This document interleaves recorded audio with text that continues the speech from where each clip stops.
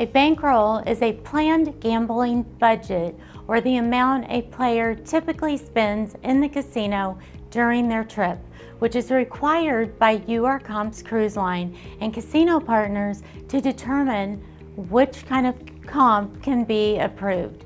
The bankroll listed is the user's in the user's account is the length of the trip they are planning on requesting.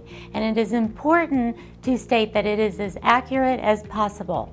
The bankroll amount along with the uploaded offers is reviewed by our casino partners to determine the level of play they are getting. And it is important to be as transparent as possible to set the correct expectations. If your bankroll fluctuates, it is important to inform your host to ensure you are getting the best deal possible.